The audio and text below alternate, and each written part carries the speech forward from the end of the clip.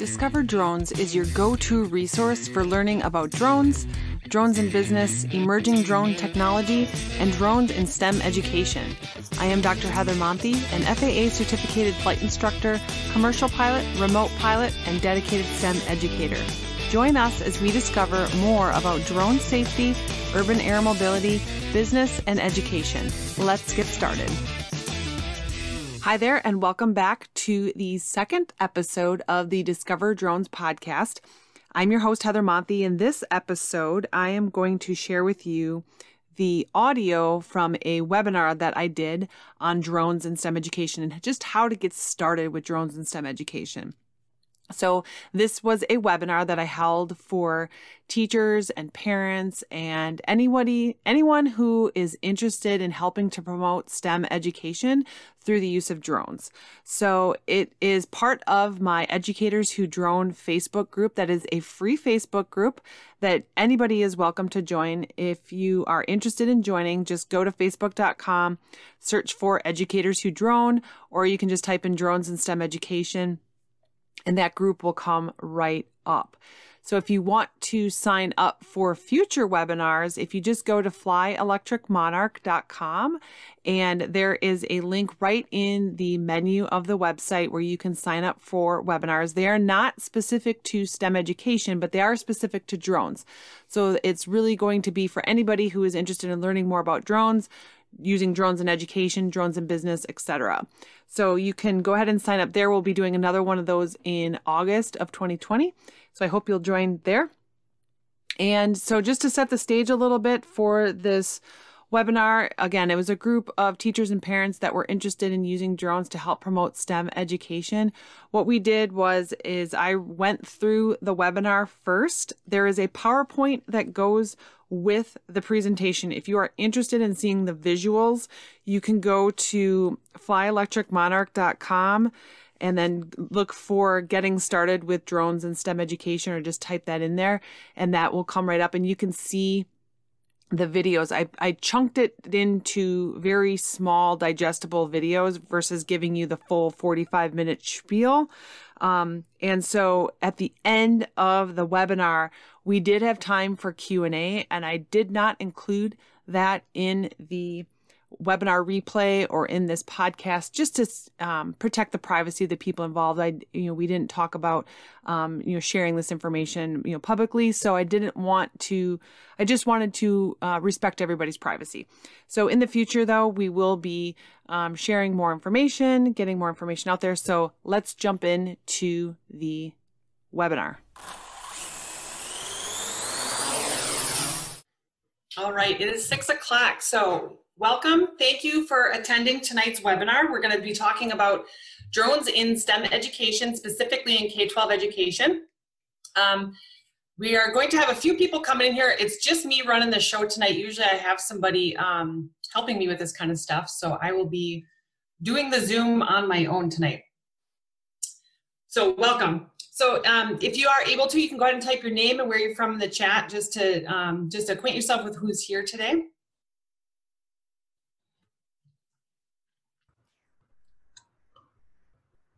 Yeah, I'm not able to type in the chat for some reason. Oh, okay. Let me. I might have shut it off when I set this up. And that's fine too. We can we can chime in. That's fine.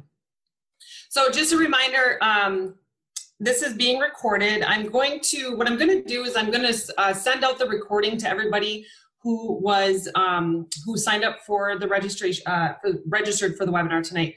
Um, not everybody was able to make it. I did have a couple people try to log on a little bit earlier, so I think there might have been some time zone mix-ups. Um, so I'm going to be recording this. It is being recorded. I just want to make sure you guys are aware of that. Um, and we'll have some time for some Q&A after the presentation as well. I just want to respect your privacy for everybody that's on here today. So um, the first thing I want you guys to do, if you have a phone handy with you, you can take out your camera and scan this QR code.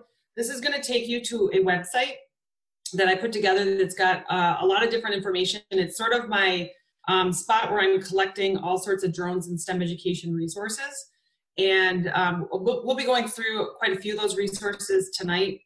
Uh, but that's going to be my spot where I'm just, as I find stuff and am able to, you know, sort of vet it a little bit, I'll share it with you guys there. So you can go ahead and scan that QR code. That'll bring you right to the site.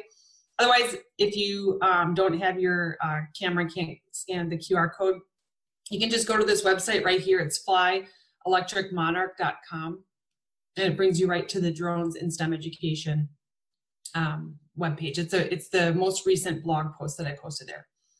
So if you scroll down through there, there's all sorts of different stuff in there that we're going to go over tonight. Okay, so first a little bit about myself. Um, I am, my name is Heather Monthie. I live in Phoenix, Arizona. I'm originally from Wisconsin, and um, I've been involved in aviation my whole life. I took a field trip to the airport in kindergarten, and I got hooked on aviation at that exact moment. I saw an airplane take do a, what I now know is to be a touch and go, which is where the pilot will practice takes takeoffs and landings right away. And I was like, I got to do this. I, this is exciting. I was obsessed with airplanes ever since then. And then um, shortly after I graduated high school, I earned my private pilot certificate.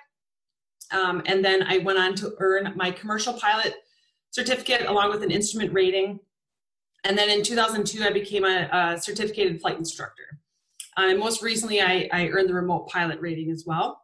Um, I have been working in STEM education since 2003. I was um, I was 100% on the airline pilot track, and then after September 11th happened and the airline industry took a took a turn, I had actually been working on a backup degree in computer science. And so my plan B became my plan A and I went into computer science and uh, worked in the field for a little while. I loved it, um, but I really just was drawn towards teaching. I went and got my teaching license and I got certified as a general ed instructor in the state of Wisconsin and also a computer science teacher in the state of Wisconsin.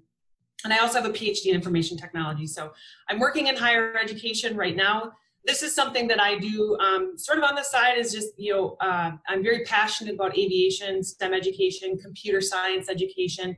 And what I'm seeing right now is the affordability of drones is allowing sort of two of my loves of life coming together where we've got aviation and then we've got computing and technology and those two worlds are coming together so i do this because i'm, I'm just passionate about this and about um, getting kids interested in computer science technology and also aviation. So today what I wanted to do is talk a little bit about um, where we have just a, a high level overview of getting started with drones in education. This is intended to be sort of an introduction to um, using drones in STEM education. So today what we're going to do is we're going to focus on unmanned aerial systems. So drones, technically, there's there's there's maritime drones, there's drones that you can use on land as well. Um, but what we're talking about here today are drones that you can fly. So they're unmanned aerial systems. And when I'm giving an overview of anything, really, I like to use the who, what, when, where, when, and why sort of frameworks. We'll talk about those things tonight. Um, and then we'll talk about some curriculum and where to find different projects. And we'll talk about some things to think about when you're looking for the best drones in uh, STEM education. We'll talk a little bit about the drone uh, drones and the A and T in STEAM. And then we'll discuss the FAA's ruling on educational use of drones, and then I'll share with you a couple of different sources that as I was putting together this presentation, I pulled from a couple different pieces of literature as well. So the first part of your drone program, you want to think, consider the who. So who's going to be involved in your drone education program? So who is going to be your school or your district's chief pilot and who's going to be responsible for your drone program? If your school or district does not have this, it's probably you. Um, so if you are the one that's really interested in, in bringing drones into your school, bringing drones into your district, you've got to be that champion for it. And generally, most drone education programs are going to have a chief pilot, and that chief pilot is going to be responsible for overseeing the drone fleet, uh, ma- uh, inventory, um, maintenance of the drones, all that kind of stuff. So you need to decide who's going to be doing that for your drone program. And then you also need to decide who is responsible for your drone policy and even insurance. And these could this could really be two separate bullet points right there. So a lot of schools already have drone policies, and um, so they'll they'll have a policy saying you know you can fly drones, but you have to go through this process first. You have to get this approved, um, all that kind of stuff. Um, other schools don't have a drone policy at all. And so it's kind of up to you to just decide what that is and work with administrators to try to figure out what's going to be acceptable um, for the use of drones in your school um, or on, in your in your district. And then also just, you know, what kind of insurance do you have? So generally with, with drones, you're going to look at hull and liability insurance to cover the drone itself and then any sort of injuries or damages that might happen as a result sometimes if you're if you're using some of the more the cheaper drones you know you might not necessarily um, have hull insurance but you want to make sure that you are um, that you have insurance coverage for any sort of liability and then you also need to consider who is responsible generally it's going to be your it department but who's responsible to allow you to install programming software on your computers or tablets so i personally i use the tello edu drone you can use a couple of different apps with that drone. You can there's an app that you can use to control the drone, but then there's a couple different apps that you can actually use to um, to program the drone. So if you don't have the ability to install software, you need to work with your IT department to make sure that you're able to get that software installed. And then you need to consider what drones you're going to use. So first, I mean, do you do you have drones already to begin with? Um, and if you don't, do you what do you need to purchase? and you have to consider budget. What kinds of funding do you have? If you don't have any funding, that's probably a whole separate topic for us that we could go over at a, at a different time. But you know, funding for a drone program, drones are not cheap. Um, the parts are not cheap.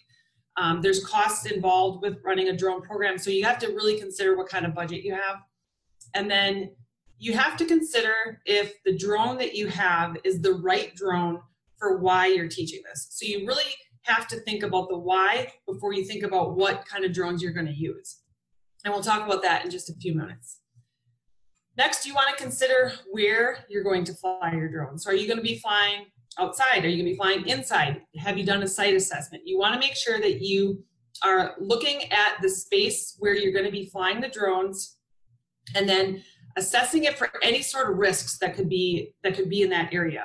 So in this picture, in this example, we've got a couple different basketball hoops there. There's some trees in the background. There's a, uh, a tree right behind the basketball hoop. There's kids. There looks like there's some kids in the background. There's people playing. So those are all different things that you want to consider when you're doing a site assessment and just identifying the areas of any sort of risk. And then you also want to con consider if you're going to fly indoors or outdoors. So for if you're going to fly your drone indoors, you made this decision, you're going to fly your drone indoors. There's a couple different um, things that you need to consider. So first, you want to choose the right drone. Not all drones should really be flown indoors. Um, there's some that work better indoors. Um, the Tello EDU, again, that's one that I use a lot, and that is one that once the wind gets above about six knots outside, it's difficult to maintain positive control of the drone. So they fly a little bit better indoors. But then you have some drones that you have that they're going to be better flown outdoors. So you want to make sure that you're using the right drone. You also want to check with the building owner and you want to make sure that drone flight is actually even permitted. If it's your school um, or your district, you want to check to make sure that it's it's permitted to fly the drones inside. But if you're running sort of like an after school club or a youth group club, something like that, something through a church, um, you want to make sure that uh, drone flight is permitted inside the building. Again, you want to determine any sort of limita- limitations that are on your insurance plan and do you even have insurance? So you want to you want to consider that as well. And then you need to consider the legal liability if someone is injured or if the property is damaged. So you have to, again, understand that risk before you decide where you're going to um, fly your drone. School, uh, school auditoriums and gymnasiums are really great places to fly drones, but they oftentimes they have obstacles that you might not necessarily think about. So when you walk into uh, you know, school gymnasium, you walk in there and you're not necessarily looking up and at the ceiling to see what kinds of things are up there. So when you're doing a site assessment, you want to make sure to look up to see what's up there. So in this picture uh, that I have right here, this basketball court, for example, um, I see a couple different um, obstacles. And so we've got the actual basketball hoop itself along with the backboard. Um, but then there's the hoop. We could get caught up in the hoop. And then above the basketball hoop, there's the the cabling mechanism that is actually allowing the basketball um, hoop to be drawn up or drawn down. And so it's probably extending out of the picture, but I'm assuming that there are cables then that extend all the way up to the ceiling to power that to power that basketball hoop. So those are all going to be different things that um, you want to consider. So you want to, when you're doing a site assessment, just make sure you look up. And then when you are flying your drone indoors as well, these are a couple more things. So you want to make sure the room is prepared, remove any obstacles. So again, do a site assessment, do a quick walk around, make sure you're looking for all the different areas that could be a potential risk. You can also use a flight cage that will help limit the drone movement um, and even the, the speed. So a drone cage is you know, it's essentially a net that you can you can set up and you can it's it's like a, a cube shape and you put the drone inside the cage and then the person stands outside and the group of people can stand outside and watch. And then what happens is, is it contains the drone. So somebody might not accidentally just walk into it or walk into the blades um, stuff like that. Or if somebody loses control of the drones it's all contained within the cage. Safety safety safety. So aviation is um, very much filled with a culture of safety. And specifically the faa if you're if you're in the united states the faa is a big proponent and a big advocate of aviation safety. And so when you are, and this goes for flying outside, outside too, but when you are flying your drones, you want to make sure that you're building that culture of safety within the group of students that you're working with. You want to make sure that they understand that anybody can say stop, anybody can call off a flight. If anybody sees anything, they have full permission to, to yell stop. Um, so you really want to make sure that you're building in that culture of safety with your students. And along with that, you want to make sure you're using propeller guards. Um, a lot of the propellers are, you know, they're carbon fiber. Fiber. They don't feel like a lot when you're just kind of touching them and, and playing around with them and stuff. They don't feel like a lot, but when they're rotating, um, you know, at how many thousands of RPMs, uh, they can be very dangerous and they can be very harmful to um, to humans. And then you, uh, if your drone has a return to home feature, you want to make sure that you disable that inside simply because you don't want to act, you want to enable that and then the drone tries to return to home and you end up crashing into a wall. Um, and then you can also use the beginner mode to help reduce speed. Um, so like again, I use the Tello EDU. There's a there's a beginner mode in there that help, it reduces the speed of uh, the top speed at which the drone will actually fly. And if you have chosen to fly your drone indoors just because the weather is poor, um, sometimes it's just better to wait till the weather outside clears up. So, for example, you know it's it's snowing outside and, and you and you can't take the can't take um, take the drones outside to fly. You you make the decision to bring the the drones indoors, but you can't find an acceptable place indoors to fly. Um, it, sometimes it might just be better to go on to Plan B. I always say I've been a technology educator for a long time. You always want to have Plan B, so that might be a, a good time to use that. Next, if you're going to fly your drone outdoors, there's a couple different things you'll want to consider. So um, you want to consider things such as power lines and trees. Same thing as when you're doing a site assessment inside, you want to just look up, see what kinds of things are going to be in the way. Power lines, trees, cranes, flag poles, all that kind of stuff can get in your way. The, the next thing you're going to want to do, so when you're flying your drone inside, and if you're in the United States, the FAA does not have authority over the airspace inside a building. So you do not need FAA approval or authorization to fly a drone inside a building. You need authorizations and approvals from other people, but not the FAA. When you move outdoors, the FAA um, does regulate the airspace outdoors, and that includes the airs 10 feet above the ground, five feet above your house, um, you know, just right, right outside your garage door. The FAA controls all that airspace. They have the authority over that airspace. So what you can do is there's a couple different apps and a website that I want to share with you today, and the links to these are on that uh, that website that I initially told you about. So the first app is called B4UFLY, and this app is an app that was designed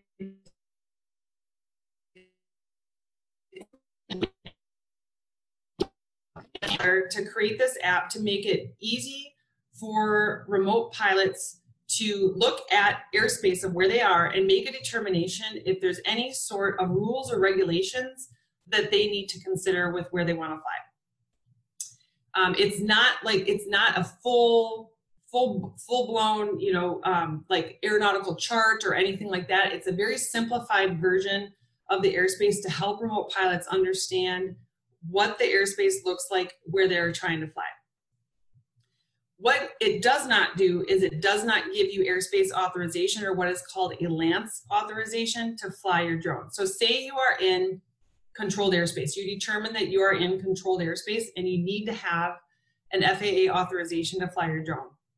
You can use the Kittyhawk app. So Kittyhawk also developed this, but it's called the Kittyhawk app. And the Kittyhawk app will allow you to file um, a, a LAANC request so you can get an authorization to fly your drone.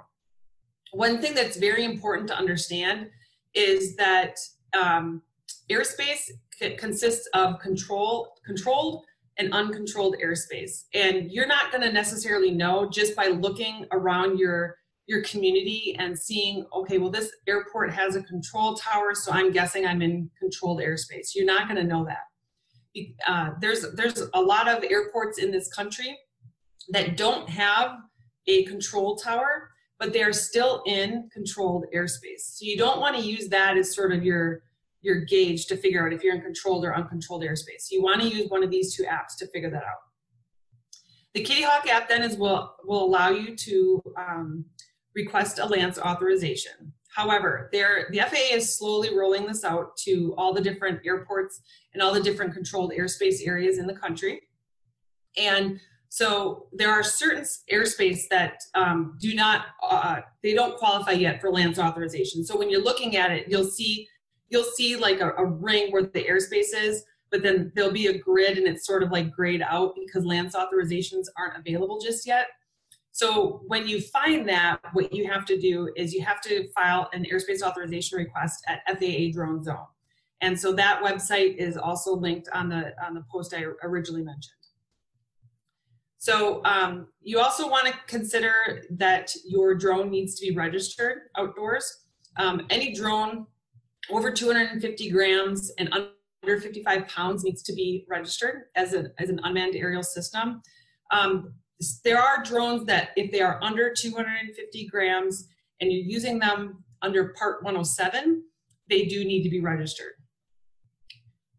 once you've determined you know what the FAA has to say about your drone flight, then you also want to consider any sort of local ordinances that you may have in your city, your HOA, um, your county, or even your state. So there are some states that are now in the United States, anyways, that are requiring an additional certification above and beyond the remote pilot certification.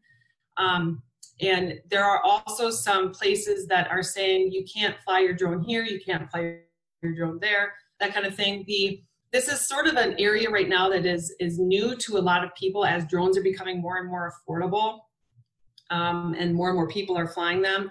More and more people are getting involved, and they're trying to put in some regulations around airspace, but they don't control it. They don't have authority over airspace. The FAA has authority over airspace. So what a lot of local or uh, local governments are doing, so state, uh, county, and city governments, what they're doing is they're saying, uh, okay, well, we can't control the airspace, but what we can do is we can say you cannot launch your drone from here, or you cannot land your drone here. So what you want to do is you want to make sure that you're paying attention to any sort of local ordinances that um, might be in effect of where you are trying to fly your drone. And then if you are, um, you know, running running a youth group, but you know, you've got an activity that you want to do, make sure you have a backup indoor location for inclement weather. It's you know, when you're when you're flying outdoors, oftentimes it's a good idea to have a backup indoor location. Um, but you know, sometimes that can be difficult with scheduling, especially if you know you want to use the gymnasium, but also another teacher wants to use the gymnasium. That can be very difficult. Um, so again, I always just go back to always have a plan B when you're teaching anything with technology. Always have that plan B. And then uh, next, you want to consider when will you fly your drones. And so I think this picture here is um, a great representation. I don't think you're necessarily going to be flying drones with kids quite this young, um, but it goes to show that you know th- that you know kids love being outside when it's storming or you know snowing or whatever. They love being outside. They love playing in it. But your drone necessarily doesn't want to be flown in that kind of weather. So you want to consider when you're going to be flying your drone. So if you live in a climate where it's you know it's it's cold in January you obviously want to take that into consideration with are you going to be flying your drones outdoors um, you want to consider that there's there's some performance uh, limitations or performance um, things that happens to the performance of the, of the drone when you're flying in colder weather, and then uh, drone performance can also be affected if you're flying your drone in in hot, humid weather as well. So you want to take that into consideration. And um, again, just you know, if you're flying your drone outdoors, just double book an indoor location if you're available. Available, and one of the one of those issues can be the timing then and scheduling of indoor space. So now you want to consider why you are teaching your students about drones. I think that one thing that can happen very easily when you're teaching any sort of technology is to get stuck in the this is just cool. This is a fun thing to do. Kids love it. We're going to teach it because it's cool, right? And you don't want to do that. And I think you know, any educator knows that there's got to be a purpose. There's got to be an objective for anything that you're teaching in your class. You've got a lot of um, you know you've got a lot of things that you've got to fit in the day so you, you've got to make sure that this has a purpose and, a, and an objective and so even if you're running a you know an after school program or youth group same thing you want to make sure that you are considering why you want to teach your students about drones what is the purpose for it and so i like to break it up into four different areas i think there's a couple other areas you can do but this at a very high level these are some good categories of what you can consider when you are teaching students about drones. So do you want to teach them how to build drones? Are you teaching them how to take individual parts, put them together and assembly them to create and build a drone? Um, do you want to teach your students how to program a drone? Do you want to teach your students how to fly a drone? And then do you want to teach your students about the certification requirements to become a commercial remote pilot? So, and it's also very important to understand that as of right now in the United States, hands-on flying experience is not required in order to pass the FAA Part 107 certification. So we'll talk about that a little bit more towards the end here. So the first part is uh, building drones. So if you have decided I want to teach students how to build drones, these are the objectives I want and I need to meet um, by, and I'm going to meet those by teaching students how to build drones there's a couple different ways you can do it. And one is to um, buy a kit. You can buy kits where all the parts are given to you and you can put them together. There's instructions on how to put them together. You assemble them yourself and or your students assembles, assembles them yourself and puts it all together, turns it on, and flies it. The other thing that um, I know I was very much guilty of this when I was a kid is uh, take a ready-made drone and just break it down, take it apart yourself. I put an exclamation by that simply because you know that there's always that con- uh, risk, I guess, of you taking it apart, putting it back together, and then it doesn't work.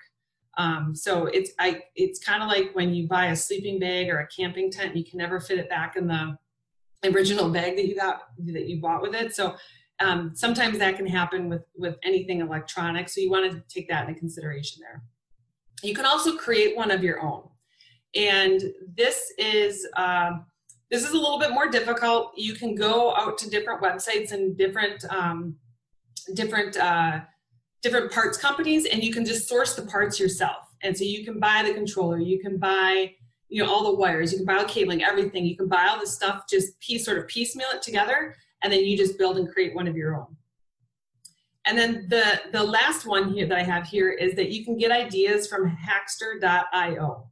And so that website is a fantastic website. I have a link to it in the web page that I shared with you earlier.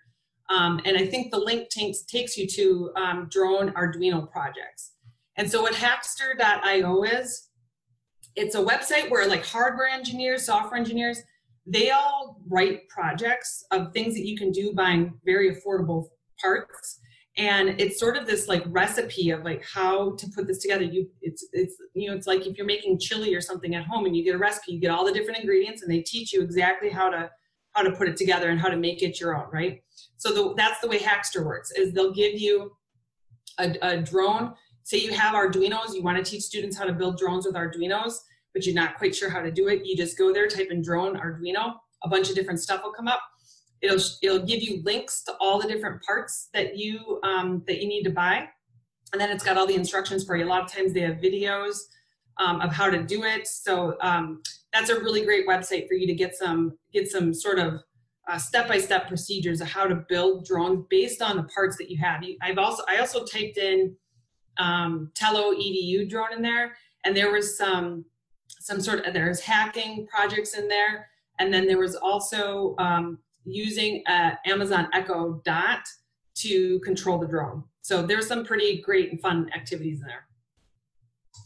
And then the next thing is to just use your public library or use your school's library. These are, this is an example of a couple books. I actually checked these books out right before we went on the quarantine. So that's what I was reading for a couple of weeks um, in the first part of the quarantine.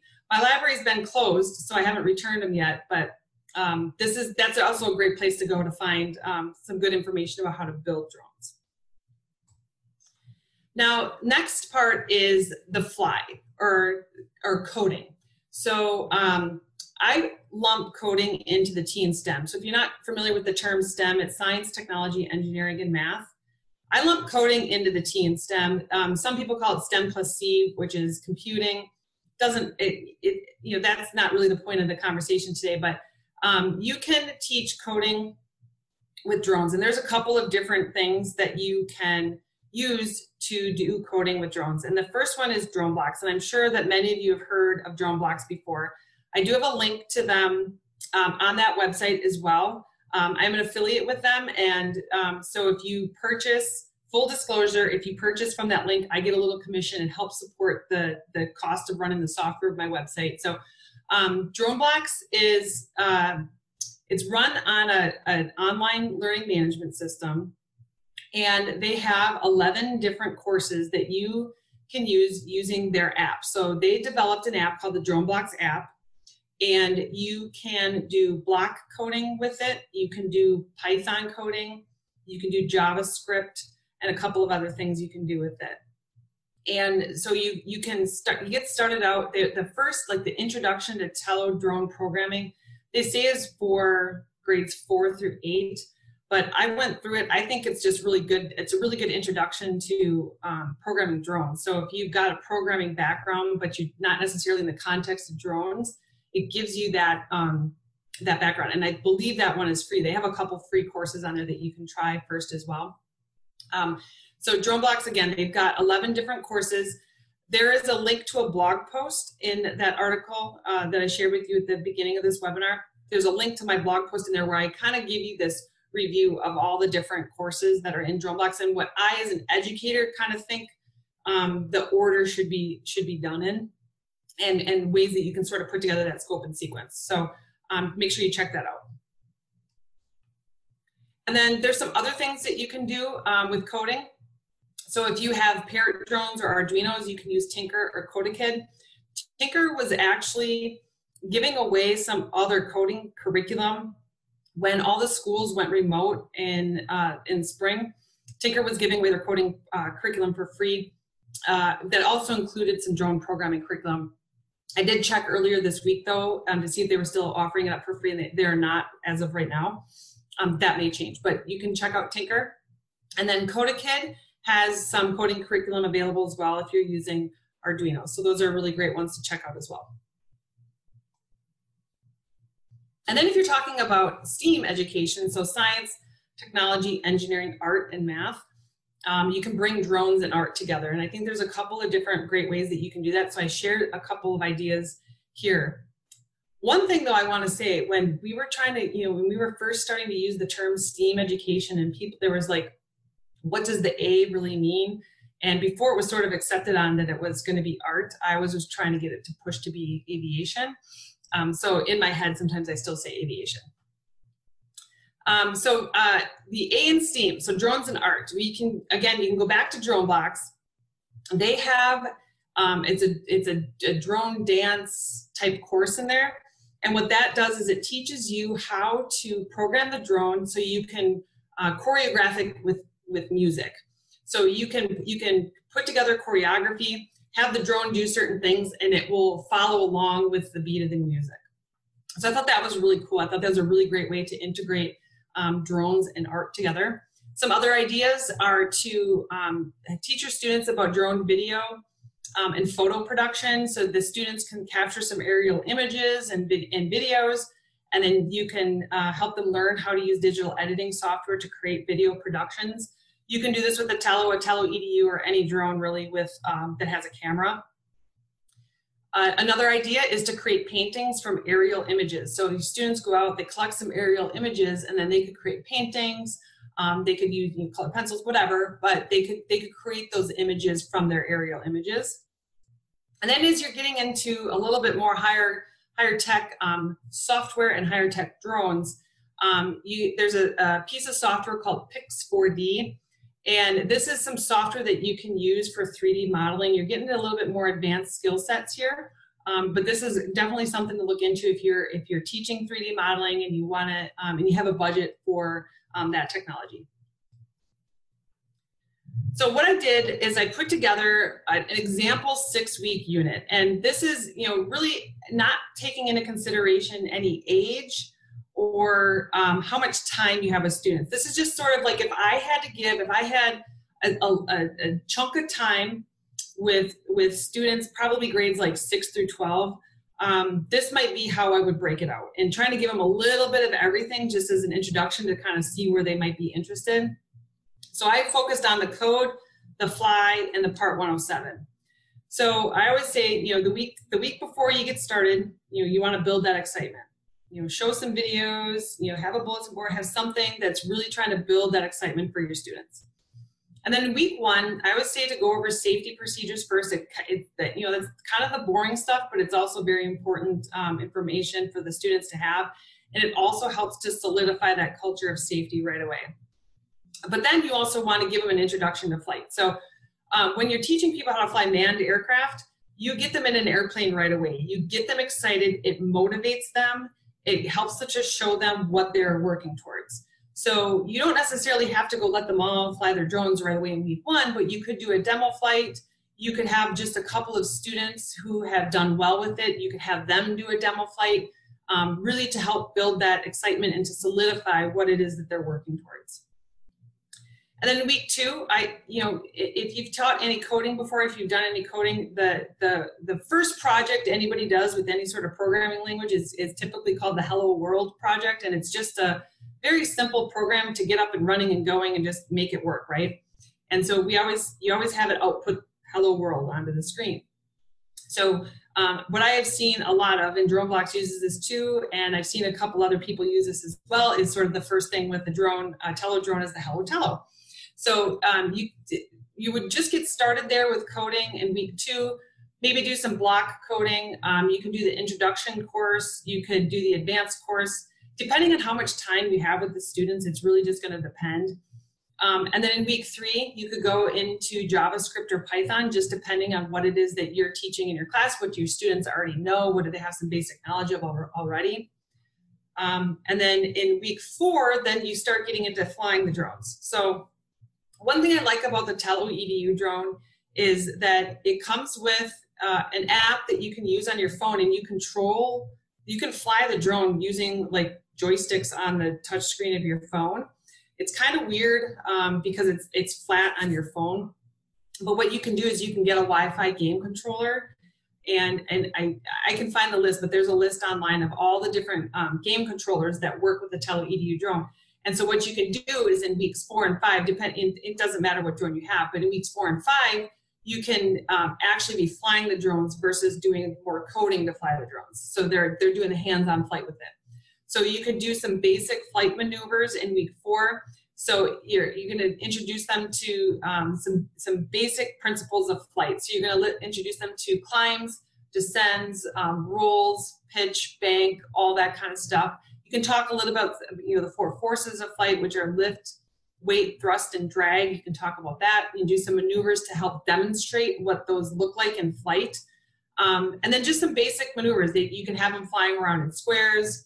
Um, just getting used to using that controller and and and maneuvering around the, the drone. And then in week five, you could go into some more advanced maneuvers. So this is going to be things like climbing turns and you know spiraling descents and things like that, putting out obstacles that the students need to fly around, fly through, fly under, fly over. Um, you know, just just getting that more advanced um, skill set with flying the drone. And then in week six, again, this is really going to depend on the age group because you know the Part 107, you have to be 16 in order to take that exam. So you know, students are 15 years old. You know, they can certainly get started studying for that. Um, but the Part 107 is the commercial remote pilot certificate that the FAA offers. Um, so you could introduce them to it. You you're not going to get through all that material in a week. I'm assuming you don't have you know a good solid chunk of 12 to 15 hours with students in, in a week, um, but you could certainly introduce it. Um, and then students could research different careers using drones. So it's not always just, I'm going to become a drone pilot. I'm going to fly around drones. That's not always what it is. Drones are very much used. People take their other skills and bring drones into that. So you've got people that work in insurance and they and they bring drones into that. You've got people who are photographers and they bring drones into that. Uh, filming um, filming movies now. We're not using helicopters as much anymore. We're using drones for this. Um, way back in the day, I used to fly aircraft, manned aircraft, to help take to help take pictures and help take police officers up around to take pictures. Um, now that all that can be done with drones nowadays, so you can have students research all the different types of careers that they're not necessarily just becoming a drone pilot. It's it's a different career that could use drones um, as part of that career. And then the FAA's ruling on the educational use of drones. I've given you a website here. There's also a link to it um, on the website. Um, the FAA is uh, is really working very hard, trying to help provide some guidance on and safety uh, regulations on using drones. Um, like I said, as they become more and more affordable, there's just more and more people using them, and they really want to help make sure that that airspace is safe for both manned and unmanned aircraft. And so there are really three different distinct users of drones in the FAA's eyes. The first is recreational users of drones. These are people that are flying purely for hobby. They, um, they are flying under sort of the guidance of what is called a community-based organization. Um, the big one is the AMA, um, or the Academy of Model Aeronautics. Um, they, they put together sort of the safety guidelines for flying as a recreational drone pilot. The second type of drone uh, drone user is a commercial remote pilot. So that's going to fall under Part 107. That's, that's going to be groups of people who are flying um, for compensation or hire. And it's important to understand that um, that compensation doesn't necessarily have to be um, monetary. So if you are you're getting you're getting the flight time, you're doing a favor for a buddy and you're getting the flight time, that could be considered compensation. Um, your friend is a realtor and he or she wants you to take some pictures of their um, of their real estate property, that could be considered for compensation or hire. It's in furtherance of a business, so that could be considered comp for compensation or hire, even if you're not charging them. So it, it's sort of this very gray area, and you and you want to um, tread that water lightly. And then the third user of drones is, is considered the educational users of drones. So um, what the FAA has said about the educational users of drones is that they can either fly under the recreational guidance or under Part 107. There is some spe specific guidance for um, higher education that are using drones for research, um, and that's outside of the scope of this. We're focusing on K-12 here. So essentially what you want to know is that you have to really consider what kind of flying you're going to be doing with your students. So if your students are going to be doing the majority of the flying, you're not touching the controls. You might have to grab them here and there just for safety reasons. Um, you, do, you don't necessarily need the Part 107. As of right now, that could change. Um, but if you're going to be teaching, you're teaching students how to fly a drone your, your hands are on the controls quite frequently, or you're teaching them how to get the Part 107 certification, that's where, that's where you start getting into the Part 107 operations. So you can look through that website there. The FAA really clearly well, uh, they spell everything out. Um, it's very well summarized. They have links to the actual laws as well. You can go look those up as well. I'm not a lawyer. I'm a flight instructor, um, so I, I, I speak from that sort of perspective. And then um, again, the FAA Part 107 certificate. I've got this nice picture here because this is where we're going. We're going to drone delivery and all these different types of things that we can use with drones. Um, and so the FAA has created this Part 107 certificate for um, all commercial drone operations. And that certificate is uh, what it is, is it's a, a, multiple choice computerized test that you go to a testing center and you take the exam. It's all multiple choice and they're testing you on a couple of different areas. They test you on your knowledge of airspace. they test you on your knowledge of safety, um, how to read weather reports, um, aeronautical decision making, how to determine if you're safe to fly, um, all that kind of stuff. They just want to ensure that you understand the airspace in which you're going to be operating in. And then this right here, I will post this in the Facebook group. This is a couple of different um, uh, research articles and a book that I found that I thought was great. As I was putting together my notes and my ideas, just from my own experience, this kind of this kind of gave me some um, additional um, ideas and a different things to look at. So I thought maybe you guys would like to look at this as well. All right, so there you have it. This was the Getting Started with Drones in STEM Education webinar from July of 2020. Again, if you're interested in joining our future webinars specific to drones in business and education, go to flyelectricmonarch.com and you can sign up right there for the webinar series. And I will see you in the next episode.